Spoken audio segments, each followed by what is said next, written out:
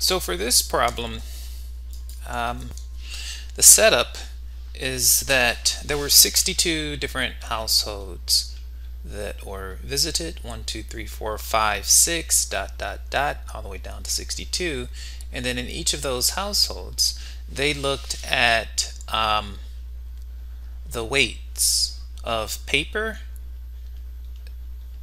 um, versus glass that were um, so what, how much, uh, what was the weight of the, the total amount of paper that was discarded for the week and the total amount of glass that was discarded. And then, and so you'd get these two numbers, paper and glass. Each one of these numbers over here off to the left represented a different household. Um, and so what you end up with is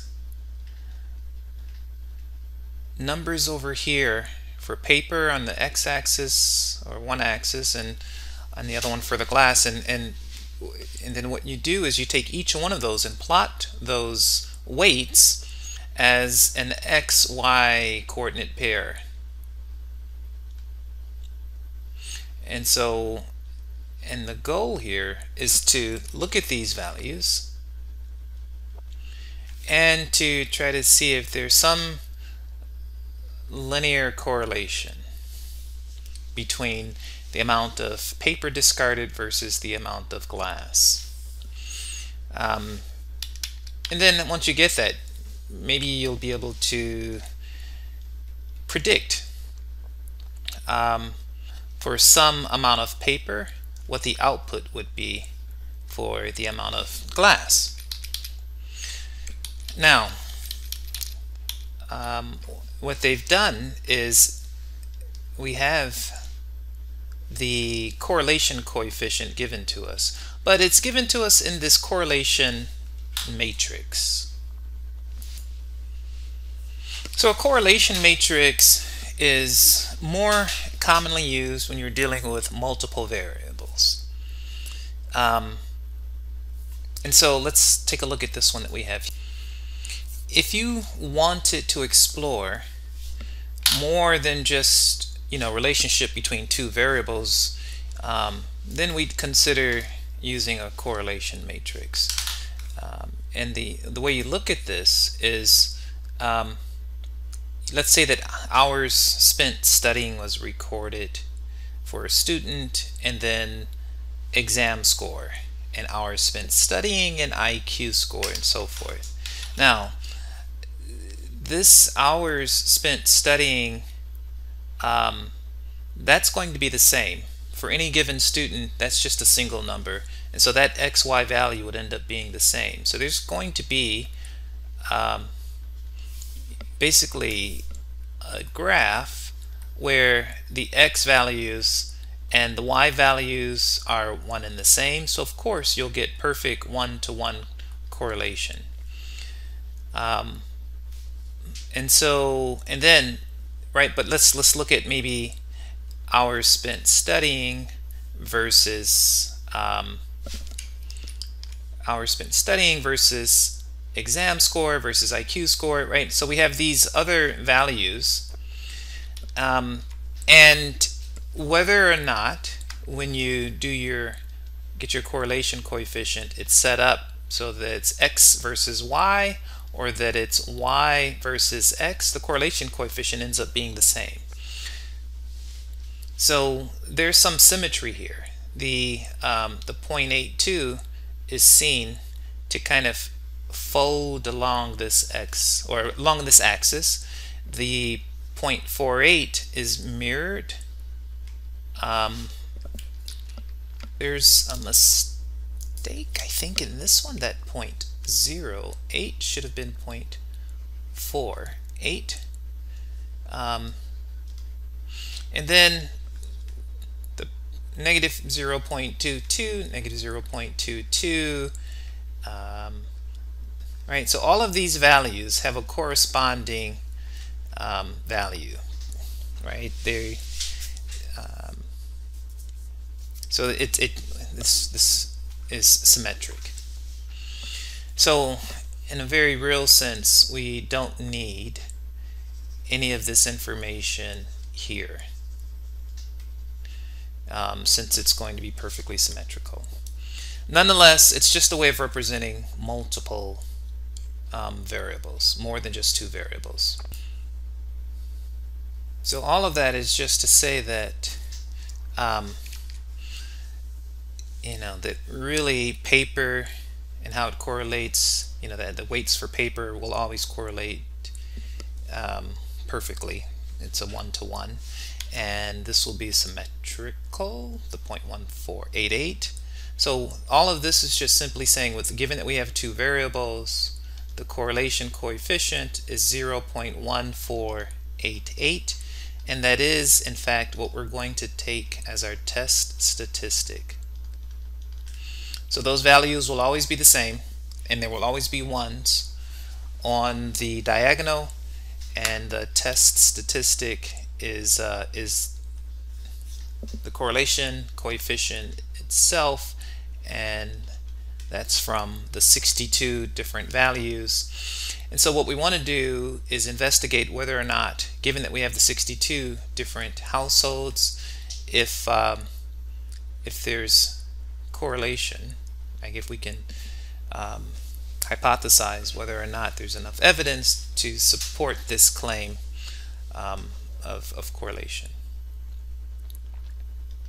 And we're going to do this at the alpha equals 0.05 significance level. So um, our null hypothesis, our null hypothesis is that there's, for the population as a whole, even though we just have samples, but we're working with not R, but we're going to hypothesize about the population. Is that, and so this is a Greek R, what you see here, this rho it's being drawn.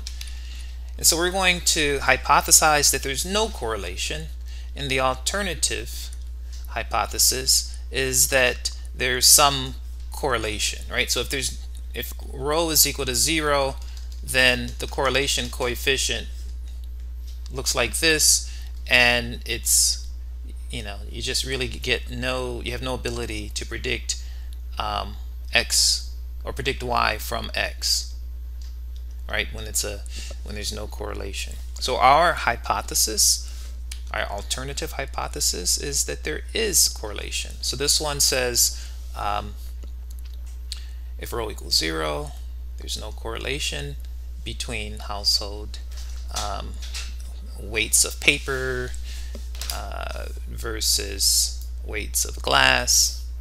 So no, cor no correlation between those two weights. That's our hypothesis and the alternative is that there is correlation.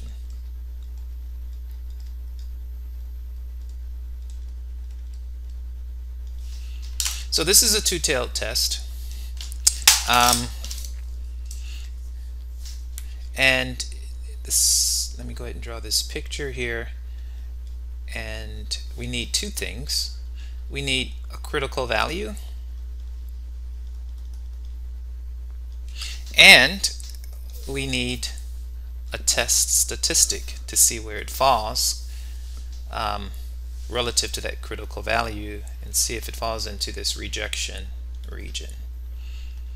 And if it does fall into that rejection region then we're going to um, reject the null hypothesis here and we would conclude that there's evidence in favor of correlation.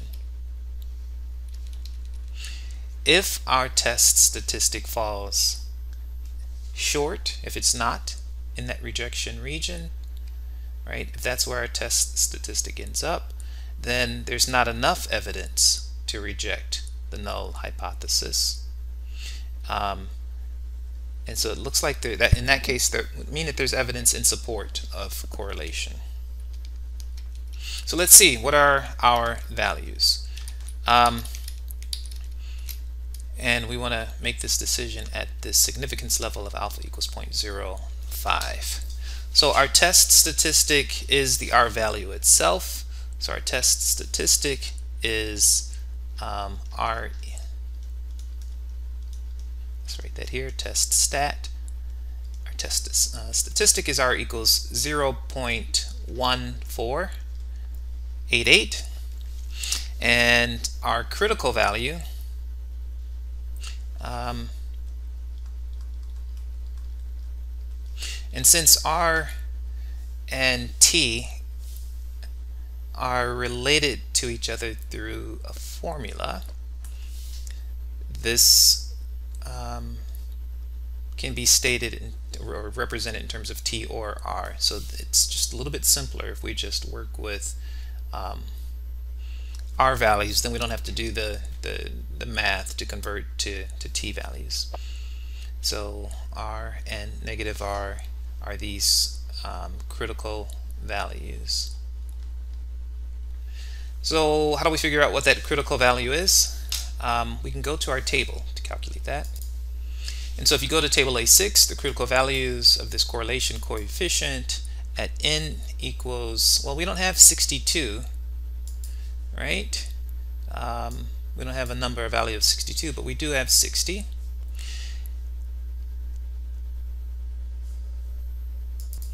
So if we go in at 60 and using alpha equals 0.05, we get 0.254 for our critical value. 0.254 for our critical value there. So let's use that. Our critical is 0.254. So that's positive. This is a two-tailed test, negative 0.254. And then our test statistic falls over here at 0.14. I'll shorten it to 0.149. Um, therefore, we don't fall into the rejection region, um, and so uh, we will fail to reject the null hypothesis. So in failing to, right, we don't have enough evidence to reject the null hypothesis. So if we're not going to reject it, let's go ahead and grab it. Now, what does it mean by not rejecting it? Right? It um, it looks like there's no correlation between the two. Right? We didn't have enough evidence to counter that um, that null hypothesis.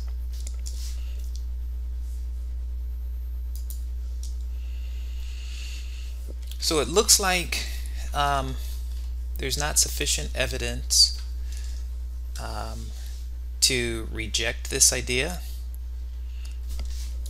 right? And alternatively, there's not enough evidence to, um, there's not enough evidence, right? Since we're not rejecting the null, there's not enough evidence to say that there's a correlation um, between the weights of paper versus glass. So that statement looks like this here. Because the absolute value of the test statistic is less than or equal to the positive critical value, there's not sufficient evidence to support the claim that there's a linear relationship between the weights of discarded paper and glass at the alpha equals 0.05 significance level.